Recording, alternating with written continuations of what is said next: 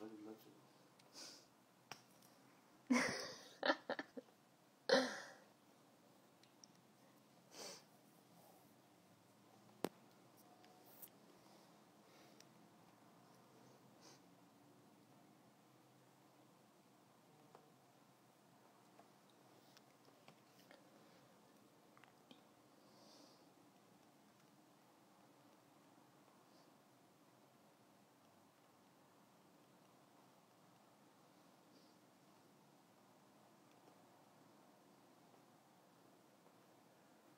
Hello. Hi, everybody.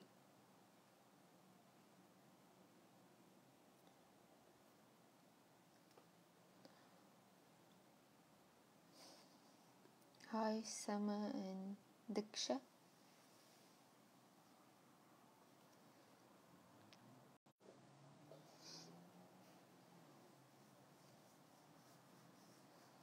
Uh, we're waiting for our guest. Today we're gonna have uh, a blogger from Belarus, and she will be speaking about the protest in uh, in Belarus and speaking about what's happening there, what has sparked the protest, and what are we expecting in the future. She's here, so just one second.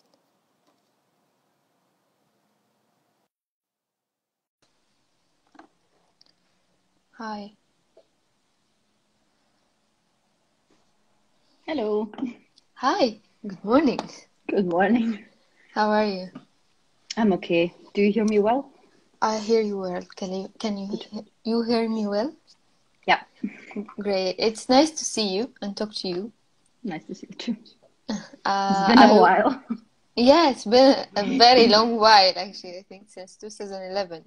Hmm And uh, but it was a pleasure to meet you back in Egypt, and Same it's a pleasure to to talk to you now in uh, similar circumstances. And uh, I hope your revolution will be much more successful than our revolution. So I hope you all the best. Thank you.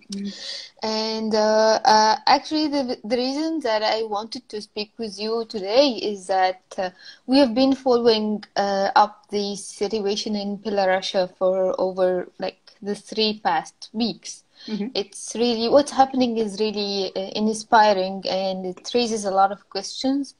So I wanted to have a voice that I trust to tell us what's happening, what has sparked the protest, and uh, tell us what what the protest protesters are facing back there in in Belarus, and how can we help, and what is your expectations for the future. So let's start like in the beginning by you introducing yourself and explain why you're insisting on being an ex-journalist, not not a journalist. Um, yeah, so my name is Christina and uh, I'm Belarusian and I come from Belarus and I used I lived there for 24, 26 years. Then I moved to Poland and I worked as um, independent journalist. Um, I mean, it's more like uh, for Belarus, it would be more like opposition journalist because we have no voices for independent uh, journalists in Belarus. So I needed to immigrate first to Poland. Then I worked for radio, and then I switched um, to uh, some other media, which Lukashenko hates the most. And so for me, there was sort of no way back. Uh, and I decided to stay in Europe and I kind of uh, met my future husband and we moved, together to Germany. So, uh, but I keep track of what's going on there. I still have a lot of connections, friends and family. Everybody's still there. And uh, um, it really hurts when something like that is happening. And I was just tracking these events for, you know, I, I, would like to say 24 7, but I slept for like four hours a day, five hours a day, in, like in the very beginning. It was really upsetting, and I wanted to just understand what's going on and help spreading the word because our biggest problem was that we had uh, like a internet blackout, and a lot of people just didn't have uh, access to information. And if they, for example, uh, we had many social networks which were uh, which are still popular in Belarus and which uh, were not available back then in the first couple of days. Uh, so I sort of helped spreading the word. Like uh, I didn't, I knew, for example, that this media is blocked. So I kind of looked at it uh, from where I am now, from Europe, and I was trying to um, spread the word in Twitter or in some other media which do not require a lot of traffic when you load it um, from your internet or mobile internet uh, back back uh, in my homeland. So yeah and um, uh, why i insisted being ex journalist because very simple because i um, since i moved to germany i just changed my profession.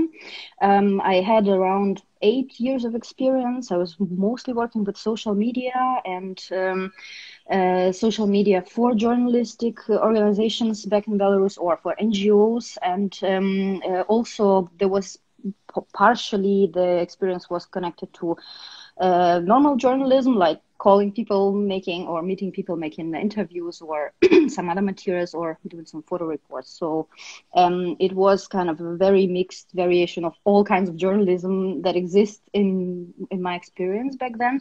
But right now um, i'm not doing that for living anymore and i'm not doing it like professionally because if you are a journalist professionally now in belarus i think you have no right to sleep. You have no right to get distracted at all.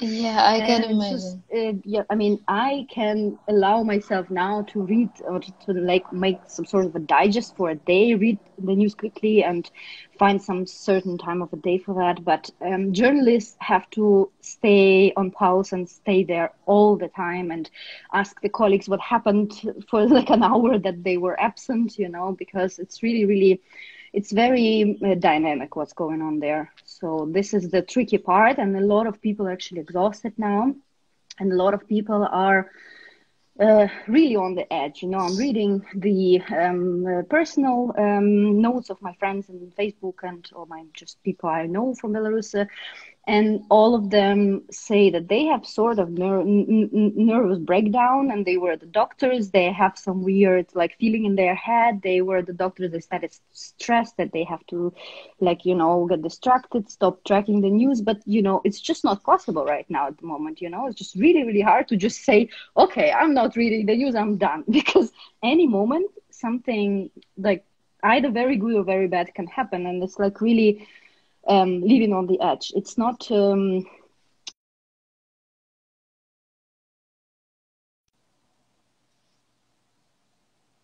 uh, I mean, the protesters are not becoming you know more radical or less like or more more like changing their like number because the number stays more or less constant all these days.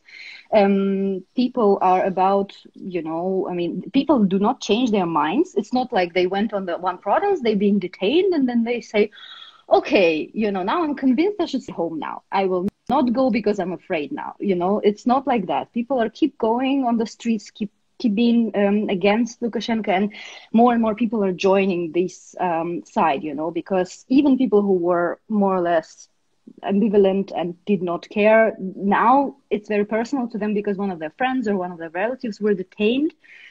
And so the protesters gaining more and more uh, uh, people at the moment on their side. Um, uh, but the protests are extremely peaceful, extremely peaceful, if I can say that.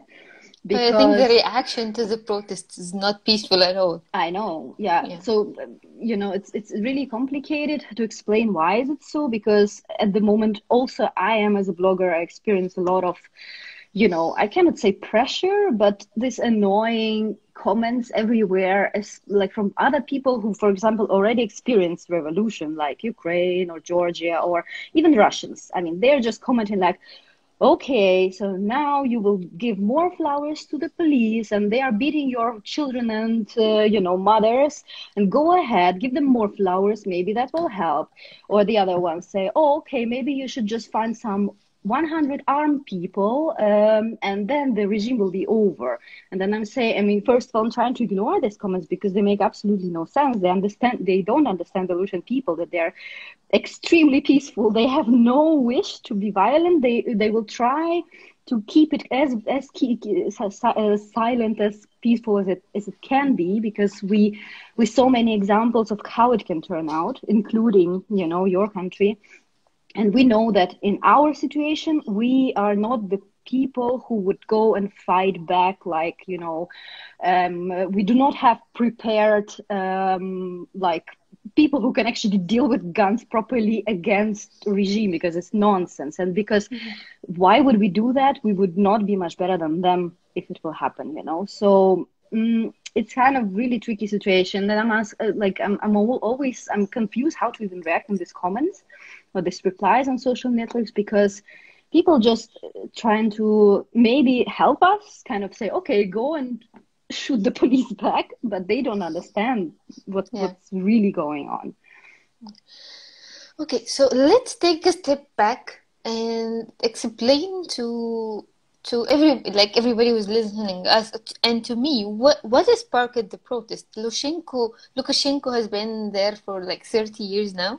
26 yeah Okay, so this this new term would have been the thirty, like he would complete thirty years in in. Yeah, in, it will be sixth term in term then. Mm-hmm. Okay, so what happened?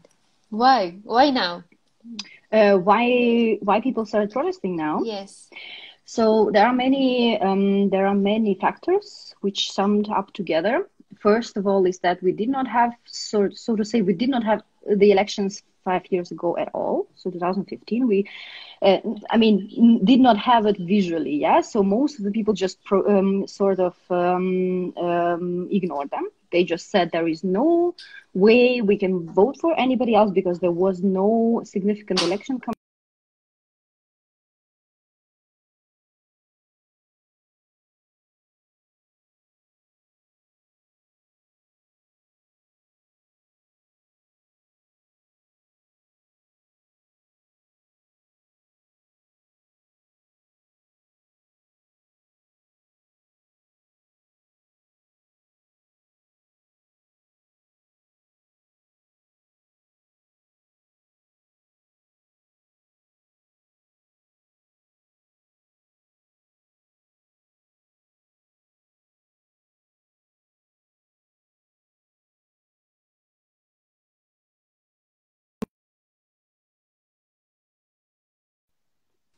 Are you back? Yeah, I'm back. Sorry. okay. Um, so yeah, we sort of didn't have the elections at all five years ago. Uh, it was really not significant. Um, the whole uh, pre-election campaign, if if even there was one, I don't think there was one. You know, it was like really really quiet back then. And so there were no detentions, there were no um, uh, big, big protests because there was nothing to protest about because people were just like, you know, staying home.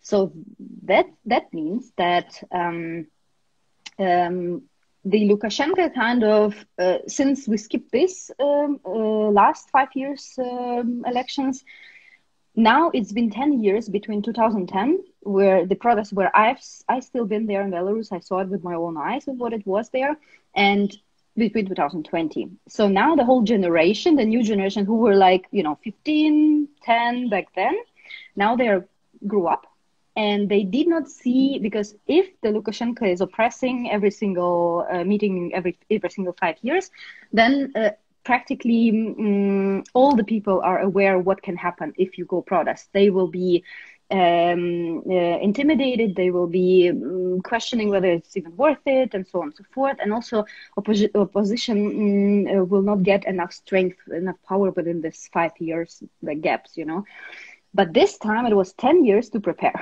It was 10 years without fear. It was 10 years without big uh, repressions. Okay, like, of course, there were some protests, there were some troubles with economy and so on. But you cannot compare that to what was in 2006 and 2011 when it was actually the protests were the result of what happened uh, during elections and after elections. Yeah. Uh, so, uh, meaning now that we have a lot of very young people now on the protests, which mm-hmm. are 20 years old, 23 years old. So, meaning they were back then, they were like 10 or 13. So, this is really amazing. And they are not intimidated at all. And they really are, so to say, like, you know, pure. And they really are for the justice. They really are for the better life. And they know how it is to live with mobile internet and internet in principle all their life. They have mobile phones since they were, you know, 10, 15 and they traveled abroad most likely and they are like really even more fresh uh, Belarusian kind of our people, you know, which which are now a big part of our society, uh, and th- this this part of um, population is actually is not looking forward to move somewhere abroad. You know, when uh, after 2006 there was a huge uh, immigration wave. Also, 2010 was. Uh, resulting some uh, some wave of immigration and before that of course you know like the end of 90s but now it seems like since belarus was not so you know it was not like it, it was uh, extremely poor country where you have no money for for bread you know and it's so bad that you need to move immediately and you need to immigrate. No it was actually moderate like like like lukashenko did not allow people to starve so to say but it was not possible to grow anyhow you know. The the business was always oppressed. The the, the like the, the possibilities in belarus you cannot compare it to possibilities in for example in europe right? So um uh, yeah so I was, uh, so this was one of the results of uh, of why protests happened now. So we we had this like critical mass of young people who young people who actually were uh, truly for change in their country, and they were truly um, also their parents. Their parents are the people who started protesting in the end of 90s, okay. in the in the beginning of Lukashenko's. Um, um, career. um, and so this was one of the factors. The second factor is that the lies, the falsification were so, um, what is the word? Um, they were extreme, you know. If he would have written um, that, it, first of all, the falsification were real and it's already proven, it's been proven many times before when um, many people were sending reports that this is, this is like uh, people are counting the votes and some falsifications going, like something shady is going on, yeah. But this time we have a mobile internet, we have Telegram. Um, I don't know, do you even use it? Do you even know with the Telegram? Uh, I, uh, I use it so yeah, so basically this helped us a lot because we have huge Telegram channel there with uh, uh, young people who coordinate um, the protest uh, to some extent. Yeah, because we have no leaders in the protest at the moment, but um, in Telegram we have a couple of channels who give some suggestions, like okay, let us meet, for example, you know, six o'clock tomorrow or Sunday, and if the other channels sort of agree, uh, and most of them are, and then they kind of repost it and then all of the people know where we go tomorrow and or day after tomorrow. So mm-hmm. it's sort of coordinating everybody at the moment. And so um, uh, so now since we have this telegram channel since we have uh, new technologies it was extremely easy to take any sort of video or photo and set it immediately online so that everybody could see that. And even with a blackout uh, even the fact that we didn't have internet access proper internet access in belarus all of this information was accumulating by the people who actually did have access to internet like like myself you know and then we were collecting it in our sources and then people who uh, when the blackdown was uh, over people were kind of catching up on events, you know, and then they becoming even more angry and then they were in the streets, you know. so it was convenient. And to finish my thought, I mean, the second, um, the second big factor was that Lukashenko actually um, wrote like the like like the expression in Belarus, like the, he drew uh, eighty uh, percent for Lukashenko and eighty percent. You know, okay. if he would have done it in a way like, okay, I have sixty-five, Tikhanovskaya has thirty, you know, then maybe people would have believed that because this sounds already sort of you know believable yeah if you can say so of course it's not true because now what we have is we have 80 for tikhanovskaya so to say i mean from many many sources it um, it says that it, the picture was uh, like uh, reverse. You know, Lukashenko had uh, something like 20 and Tikhanovskaya had something about like 80, 75, something like okay. that. And if he would have done it a little bit more modest reasonable. way, reasonable way, like uh, I have 50 55 percent, maybe second mm-hmm. tour, but okay, second tour he would have not allowed anyway. He's too, you know, stupid slash proud.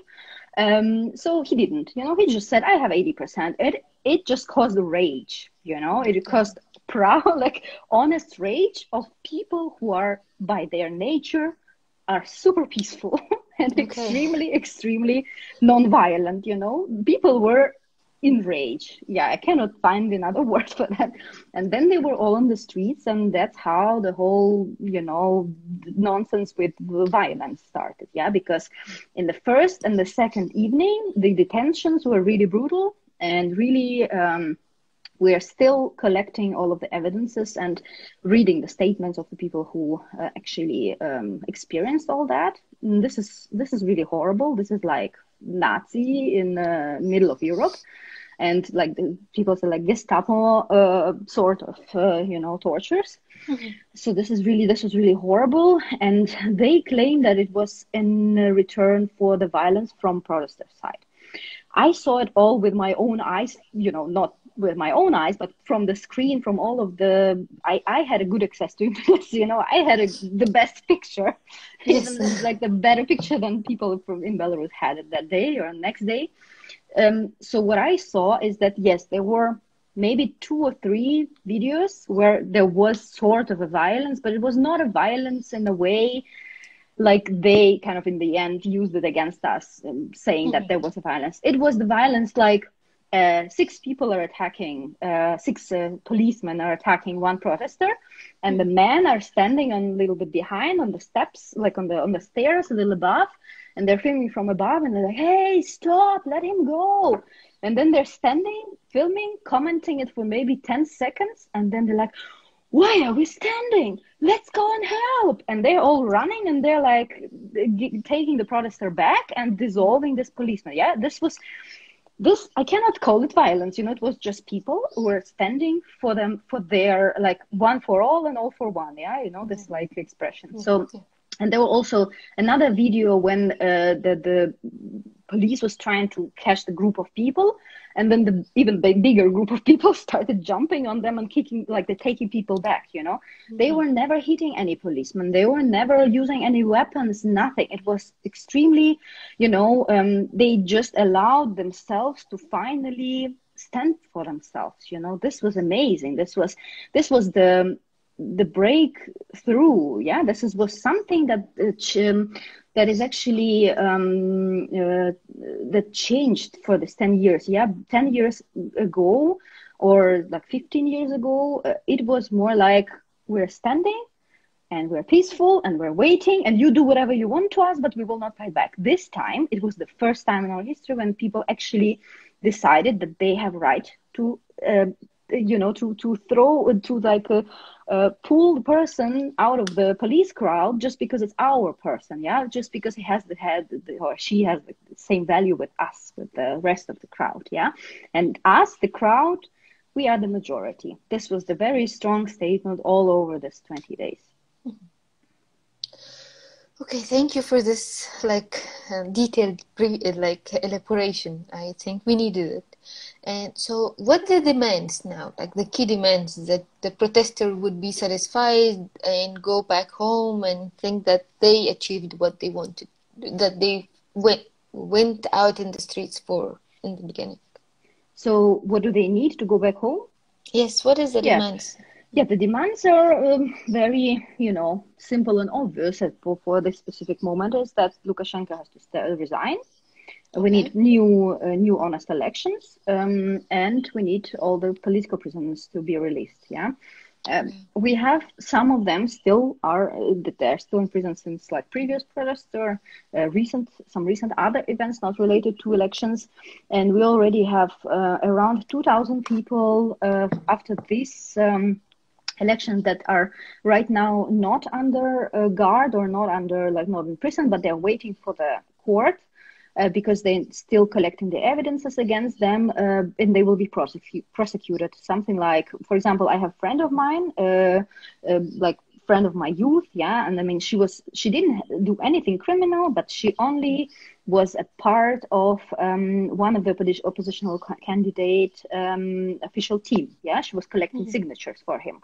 and then I think she was on one of the, like some of the protests. But um, what they are trying to incriminate now is that she was sort of one of the organizers of all that, and this is three to eight years, you know. And so okay. two thousand people of the team of this Babaryka, this uh, mm-hmm. other opposition candidate, which didn't make it until um, until elections. He was uh, imprisoned. I mean, now now he's in prison.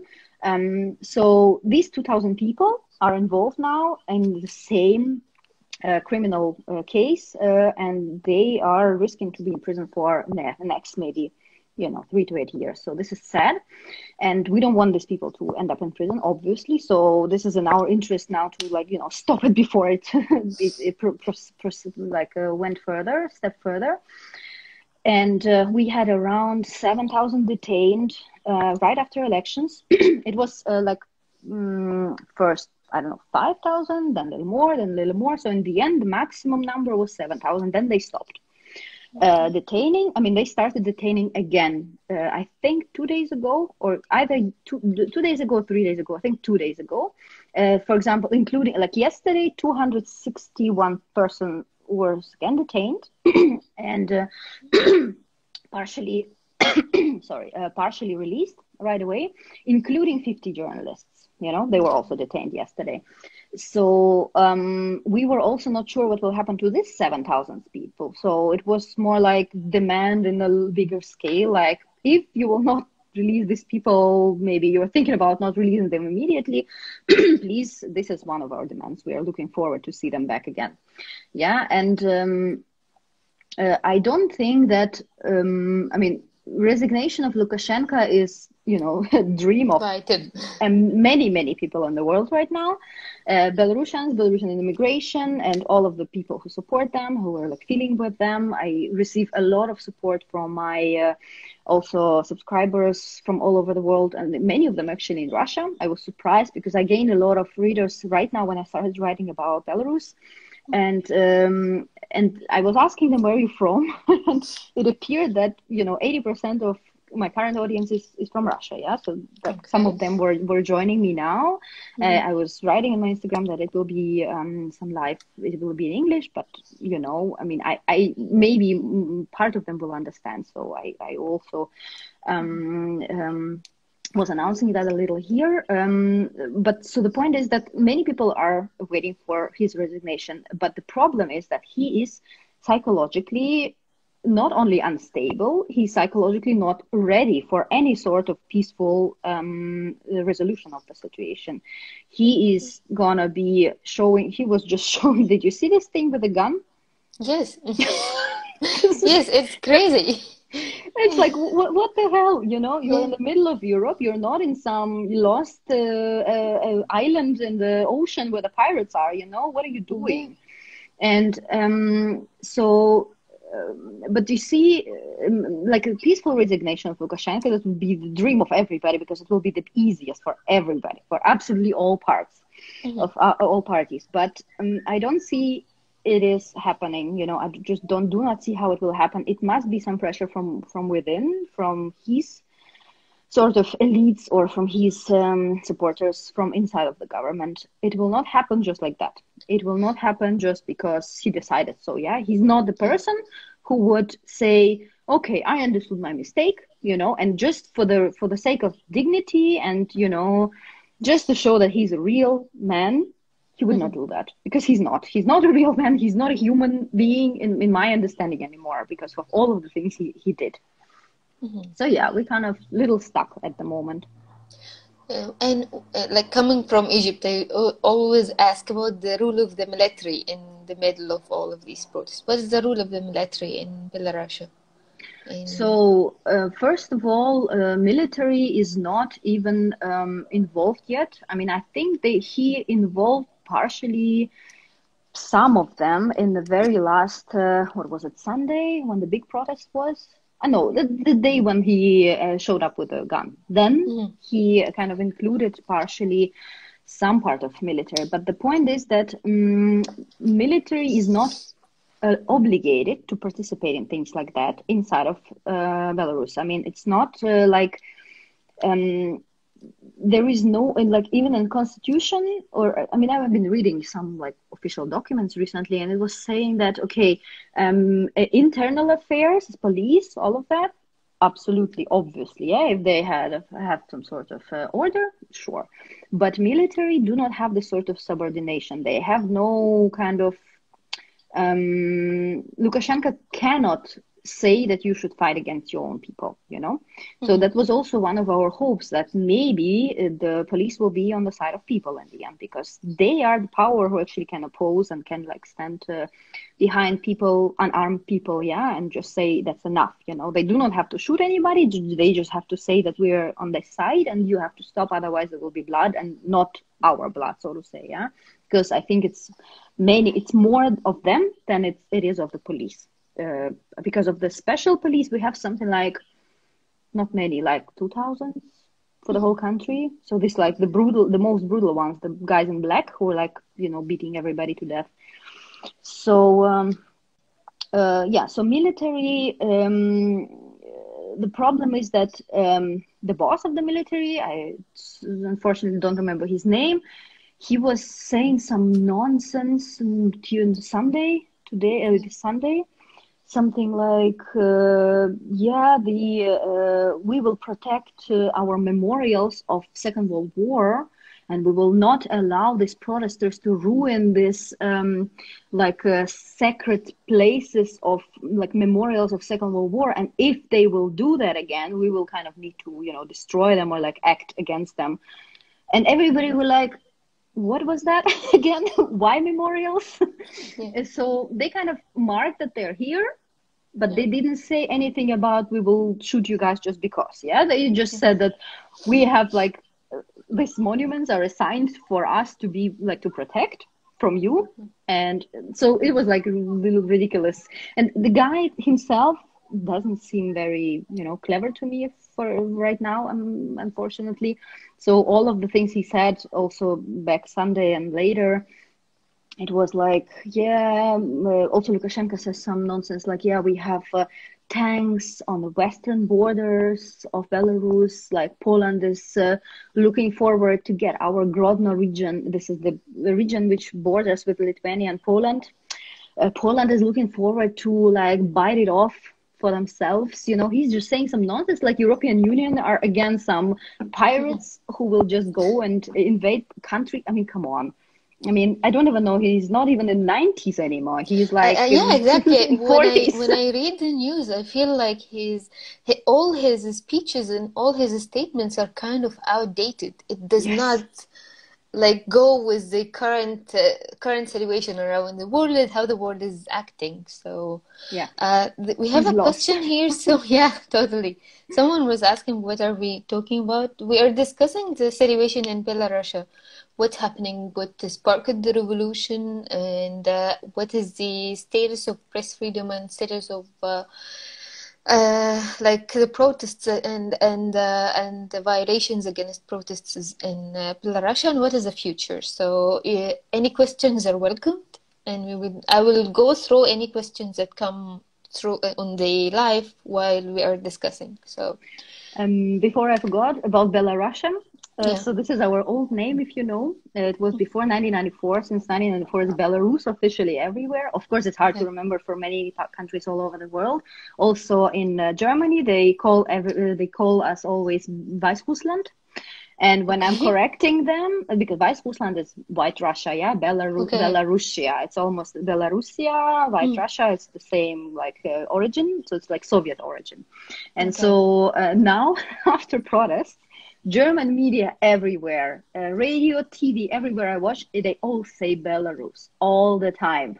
And okay. now I was like, okay, now next time I go to some, uh, you know, institution, they will not ask again if I say I'm from Belarus. They will not be like, huh, where is it from? Okay. so it needed like a revolution.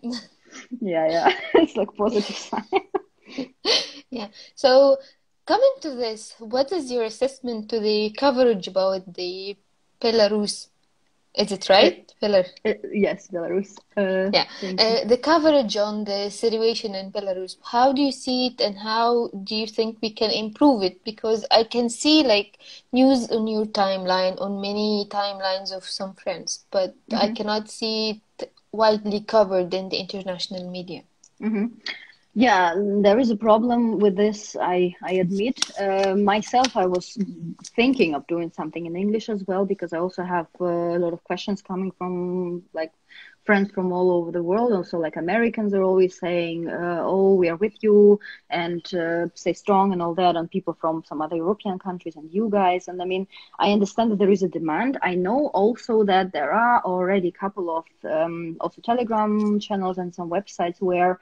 Um, you can actually track it in English, yeah. But see, the problem is most of Belarusians who actually understand the situation really well, they are occupied with news with a flow of news, which is never ending flow, you know. I mean, mm-hmm. there were a couple of days where you can just sit in the in Twitter and re- like look at the memes and like laugh about Lukashenko with a gun, yeah. But it, these days are not happening often, yeah. And also there we need some, you know, time to little relapse and recover a bit. So this is a little compli- complicated. So meaning um, the same people who understand the situation they cannot in the same time track the monitor the situation and also translate it and spread the word in english so i see now that there are many people who know english they also offer me like oh let us translate this and that uh, i just um, i think that we will come to the point when uh, it will be um, the news will occur a little more frequent and uh, a little bit up to date I know that Germans are already catching up. They're doing this ZDF uh, Tagesschau. They include Belarus very often. Uh, I think this is about immigrants who are sitting in Germany and who are like pushing this agenda um, also to the news, to the media. This is great. This is what I think works the best, uh, just to work through diaspora so that they could explain in the local language what's going on so that the media can catch up and, you know, do it uh, in a fast way because media professionals do the best, you know. Because if I will ask one of my friends who's sitting in Belarus now, please write me a text about what's going on in Belarus, you know, they will just say, sorry, I do not know the language, or sorry, I do not have the time because I'm constantly, you know, holding the hand on pulse. So I know that the problem exists, yeah. So, but since this is not a, you know, not a hundred meter run, but a marathon, I think it will be the best. Um, my best expectation will last half a year. You know, maybe okay. it will be longer. So meaning that now we need to kind of um, regroup a little. Maybe think about a little further, um, like some perspectives, like what what what do we set as priorities? If there will be and like need of making some sort of um, some summaries like every couple of days for english speaking audience uh, I think there will be people who would help also with translation. I think there will be people who would catch it and like like forward it further but um, as I said, as for me, for example, I would love to do that. I do not have time for that because also I have two-year-old son in the house. It's like I'm barely tracking the news already. you have your own revolution in, in yeah, the house. yeah, yeah. My son is screaming around, Lukashenko, Uhadi. like, Kai, quiet. No, no, Lukashenko. it's like I turned on the news a couple of times, um, and he was okay. sitting in the room. So now we know that Lukashenko is not a good, not a good guy. Okay. So um, yeah, I mean, even for me, since I was tracking it for almost ten, like now it's twentieth day, I was trying to write like a sort of a resume article every evening of what was happening during the day and what are the most important points that happened. Because many people who are not from belarus they're not tracking it so tightly and they it's very interesting for them to see it sort of uh, uh, some summary uh, some quick reads so that they can understand where where we are yeah? And you know it's not such an easy thing easy thing to do because i'm trying to read stuff and watch stuff and make my own uh, like um, you know uh, resume out of it but the problem is here that uh, first of all yeah i'm not mentioning that it's exhausting it's a lot of information. The second problem is that we have a lot of problems now with russian propaganda. Since our television uh, we were again lucky super lucky to have our belarusian television um, co-workers uh, to be decent enough to uh, 600 people where uh, they signed the letter to their um, um, what is the word like the, the director that they are going on strike until Belarusian television shows the truth. Yeah, I could not dream about that in 2006. 2006, they were making the um, uh, materials about. Uh, we were standing on the main square in Oktyabrskaya uh, with like camp, uh, tent camp. Yeah, and they were making the material about uh, them finding um, the drugs and empty bottles in the morning. Yeah. So I know okay. that these people are, I mean, for me, Belarusian television equals lies always already mm-hmm. for all these years. And here all of a sudden I see like they are actually decent people, or like maybe the new stuff that came for this 10 years, yeah, again. And this was very big surprise for everybody. And I think for Lukashenko, it was like a really, really painful because I think he didn't expect that to happen at all. And so next thing that happens, the whole airplane full of uh, Russian experts arrives in Minsk and now they're working instead of these people who left. Yeah. Okay. And so now all of the experts are saying that since Belarusian propaganda was quite uh, straightforward, like um, Lukashenko is good because we are not starving. Yeah. He's like, it's like the propaganda of Belarus is a little bit um, straightforward. There is no, you know, weird, weird uh, kind of, um, kind of hidden messages. Yeah. Okay. So Russian propaganda, on the other hand, is very, very experienced and very, very tricky. Yeah. So whatever they're doing, it works much better.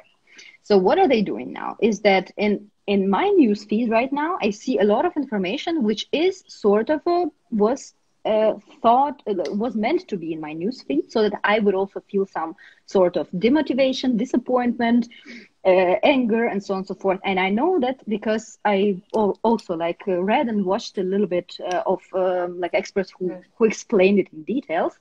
And that w- what what what happens right now is that they're changing agenda all the time they are making people talk about some irrelevant nonsense like i don't know discussing lukashenko with a gun instead of remembering that lukashenko is the one who has to step down and he's the one who causes the whole nonsense in the country a whole problem in the country uh, the second thing is so they're trying to distract you know Hmm. uh, the second thing is demotivation, as already said. Uh, it is this phrase which appeared already on um, maybe second or even the middle of first week when there was this phrase, yeah, the protests are failing. Yeah, the protests are decreasing. Everything will uh, most likely stop by the end of the week. Yeah, all of this like narrative, it was Okay. coming out of nowhere because whomever I asked from my my friends, they were like, no, we're standing until the end.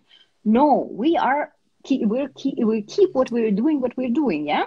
And all of a sudden, I hear this phrase, and it was coming from many, you know, either social media or some uh, other uh, so, sort of experts also who were speaking on even independent Russian media. They were like, "Oh yeah, the protests seem to decrease. Most likely, it will not hold another week, yeah." And now we see 20th day not to lie, it is almost the same amount of people on the streets, especially in Minsk. Yeah, regions are a little bit different because regions are protesting mostly with their uh, strikes on industrial uh, objects, like all of our. I mean, you you check the news, you probably know. Like most of our huge industrial, um, like foundation of our economy, who are actually also working on export, they are right now either on strike or they are doing this Italian strike. Uh, the name I don't know how to how you translate. Is there such a thing like this in translation in English? But uh, uh, it's when you are working, but you are not working enough. You're not uh, producing enough. You're calling your boss whenever something is wrong with your machine. Whenever the the, the uh, like um. Uh, it's not safe enough enough anymore in your working place. Okay. You're like always delaying time. You're always like pretending you're there, but you're not exactly, you know, doing much more than like more than um, like you, you're trying to do as, as less as possible um, on Okay, reducing place. productivity, but you're there, but there is no productivity. So, Yes, I already heard a couple of experts. They were saying that, uh, for example, this um, um, Belaruskali, I think it's um, it's uh, potassium. Um, they are producing potassium fertilizers, uh, so they have a plan, uh, like monthly plan. So now the best uh, expectation is seventy percent of that plan. So they the, the, the productivity dropped. Yeah, and this is only one example. Yeah, I believe that there's like many more. Of course, they're trying to fire these people who are on strike and so on, but um, we will see how it goes, you know, because regions are again they are on the streets when there's something big, bigger happening. Yeah, like a weekend, for example. But workday, I think it's more valuable if they are doing something like that in, in industrial objects. Yeah, because many of these industrial objects are outside of Minsk as well. uh, so are you expecting this to go more violent or to go like peaceful? That there, there will there be any like peaceful uh, rotation of powers in in Belarus? Um, yeah, I already mentioned that. I mean, peaceful is would have been possible only with a little better um, kind of little more sane psychologically sane uh, Lukashenko but mm-hmm. since he's himself is not exactly okay and not exactly you know mm-hmm. uh, in uh, 2020 you know he's not mm-hmm. not in this not on the same page at yeah. all with the rest of the people so uh, i wouldn't say that he would step down willingly and peacefully and everything will be over yeah i mean my mm-hmm. main expectation my biggest expectation is either his elites or his surrounding will finally um, stop supporting him for some reasons. We don't know the reasons. We don't know how it will turn out, but seems that our economy is um, like in German they say going schief, like it's like going down uh, very quickly because of all these protests. He spends a lot of money on military, or mm. not like military. I mean, all this like forces, special police, mm. uh, these helicopters driving around. They collecting this like support Lukashenko supporters uh, protest as well, which is ridiculous because they are like they are threatened to lose their job unless mm. they go there. Yeah, so this is how it is. So it is. It costs a lot of money for the economy. Yeah, plus. Um, protesters are doing their silent um, boycott, so to say, of our economical system, like buying the hard currency, like dollars and euro, le- leaving the banks without currency, um, or um, right now, Lukashenko already said this magical phrase. Um, uh, that we will not allow economy uh, to uh, fail or something like that. Yeah. Whenever he says this phrase, it means run to the currency exchange point. Run. Okay. okay. So basically, now the economical situation is going to become worse and worse uh, mm-hmm. on many on many points including the fact that, for example, our biggest kind of Lukashenko's biggest proud, pride also is this IT sector that he kind of um, supported all the time. That he gave them some sort of dotation so that he can they can work with like lower taxes in this special um, IT park um, in Minsk. So they were one of the first who started arguing against violence. So who started like there was this guy who was completely enraged. He was recording this video like, "You are all cowards. You cannot uh, kind of scare us. We will." So he's like really, really angry, and many IT companies were supporting uh, protesters also with money. So, and now I saw it recently. There was even a number given, but approximately. Uh, there were already a couple of companies who relocated from Minsk because okay. how can you work if the internet can be down any second you know mm-hmm. you're losing money every time because all of them are working with you know the rest of the world you know and the mm-hmm. rest of the world cannot connect with them if they have no internet because of lukashenko yeah it's not even political it's more like the mm-hmm. economically mm-hmm. it's just bullshit because if you let it work in your country you should provide them with good internet access otherwise you will piss them off and this is logical so now IT people are thinking about relocation uh, of relocating, or um, partially they already work from home from some um, like some houses which are in the suburbs. Yeah, they are not in the city centers for their safety, not in the offices. So if they will start relocation, um, that will be a big problem because it's big money. It's mm. a lot of connections. It's a lot of international uh, kind of um, co- co-working. So I mean, this is this is gonna be a disaster and also if people will start moving uh, away i mean if they will just start um, poland for example said that they will accept belarusians without visa. Okay. Uh, also people who um, got some injuries and who need uh, some medical treatment they will be admitted in poland uh, without visa plus uh, medical care for free okay. Uh, and number of other countries were helping also with like czech republic said today that it was will be a half million dollars uh, for uh, like uh, help of people of Belarus.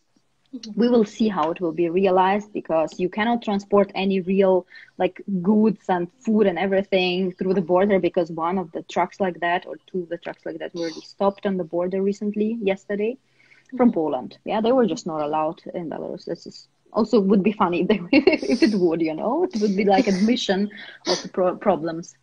So yeah, um, I think that if something would happen, it will happen from the side of Lukashenko's elites, who will start uh, dram- dramatically losing money at some point. You know.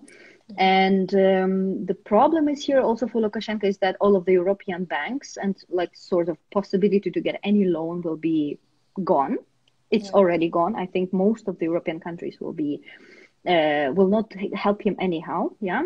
And Putin will also see that, okay, um, I'm the only one who can give him money. So maybe I will give him money for bigger per- percent, you know, for bigger, uh, like, um, what is the phrase like this, uh, you know, uh, bigger percent of, uh, of uh, return. And um, uh, this can happen. So it will be more expensive to keep Lukashenko in power then to move him uh, to to remove him and to start over sort of yeah for all of the elites that are kind of feeding him and supporting him all this time.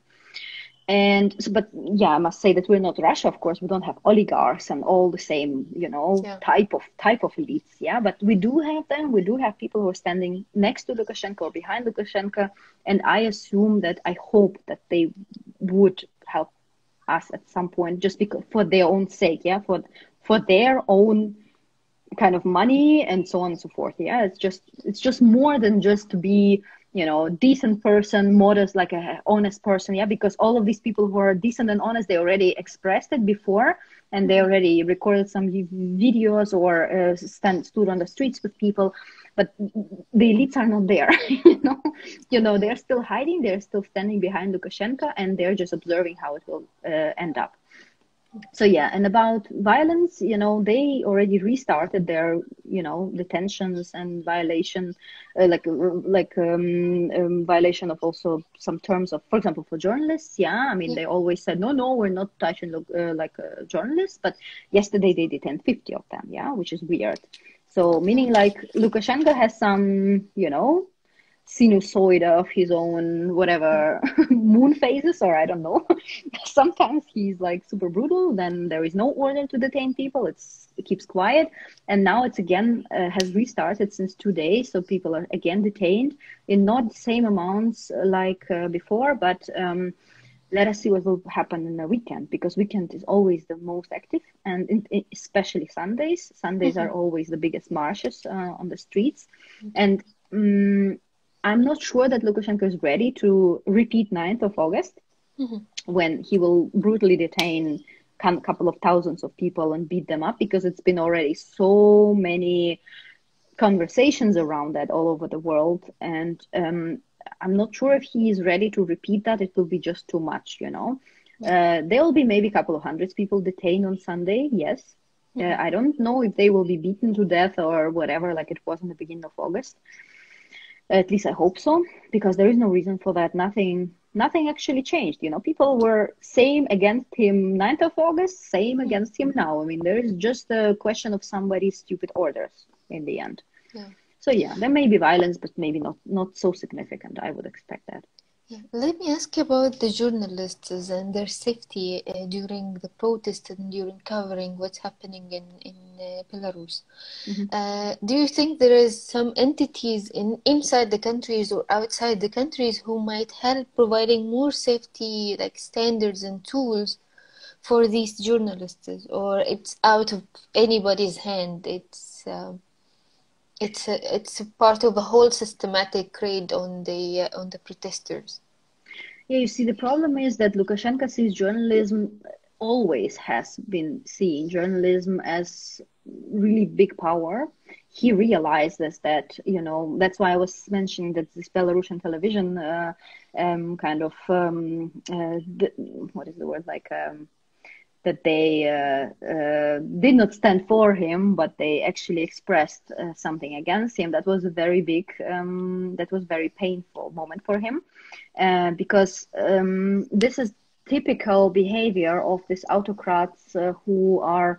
Uh, this like who are holding their power with help of television, television, yeah, or with the help of TV. That many people also in Belarus they do not have very good access to internet. I mean, I was very surprised, but uh, now, since these strikes have started, some activists who are working with um, strikers, they were saying many people who are striking on the factories, they do not have an email.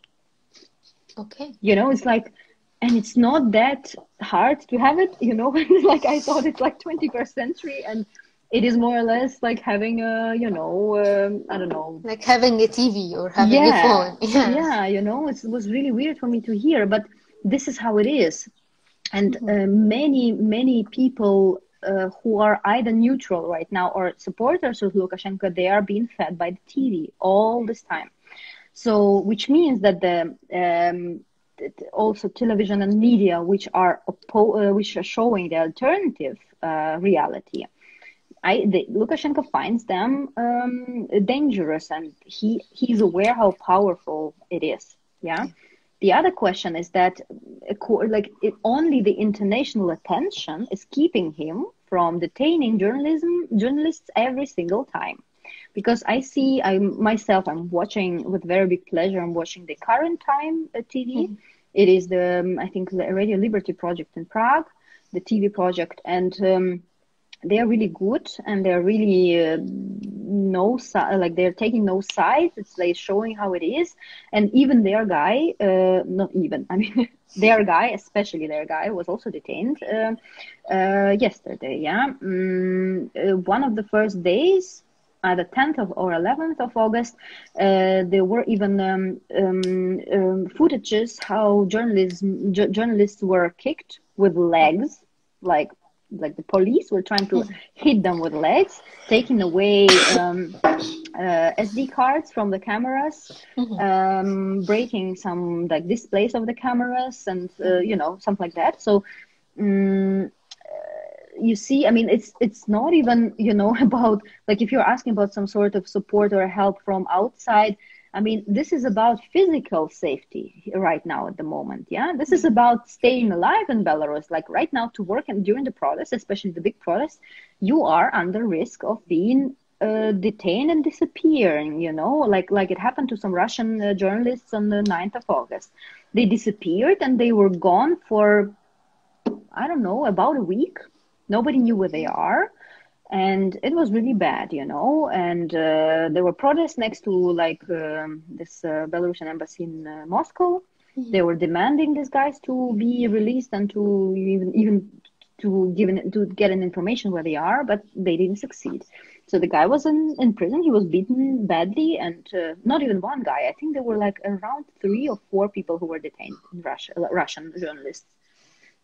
So um, of course, I think the best help uh, for journalism uh, in Belarus would be sort of technical help with some better access to internet, uh, some sort of um, make maybe some sort of I don't know how technically can be realized, but some mobile internet which works with VPN or something like that, you know, because mm-hmm. this is mm-hmm. what came to my mind when I was thinking how would I operate if I were there right now? Yeah, mm, this um, because we still got some footage from Belarus from um, uh, first days when the, there was this blackout, uh, but there were few of this good footages from from the ground. You know, mm-hmm. uh, it would be great to have more. And before their card was taken away, maybe we would have knew more if they would have had this better access. This is my I mean, I, I see world a little bit also in a like technological kind of sort of a way. I mean, I, I kind of know the value of it. If you have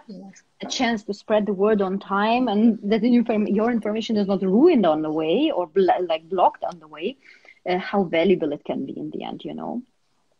So, yeah, some sort of technical support is the only one support that can be.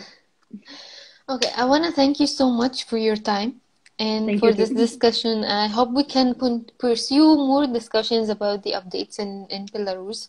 Okay. And I hope all the strength for you and for your friends and family back home and in the diaspora. I can totally imagine how hard it is for anybody to live in diaspora when their people are actually fighting for their freedom back home. So yeah. I wish you, you all the all the best. You too. Thank, thank, you very much. Thank, thank you. you. Have a good day. Bye bye. You too.